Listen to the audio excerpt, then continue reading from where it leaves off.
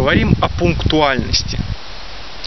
Если пунктуальность это ваше врожденное качество, и вы всегда приходите на встречу вовремя, то вы можете заметить, что время от времени ваши партнеры, с которыми вы назначаете встречу, опаздывают.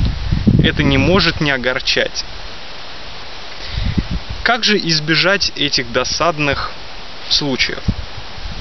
На этот случай в арсенале тайм-менеджмента есть один ловкий прием.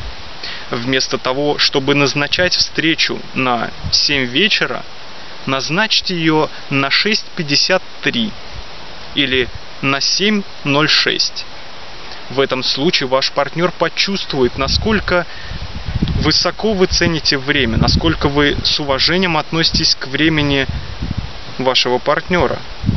И вероятность, что он придет вовремя, станет значительно выше.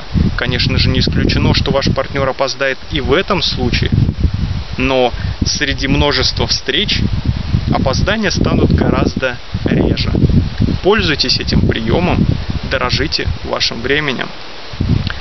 С вами был Антон Деркач. Если это видео интересно или полезно для вас, ставьте лайк, подписывайтесь на мой канал, чтобы первыми узнавать о выходе новых выпусков.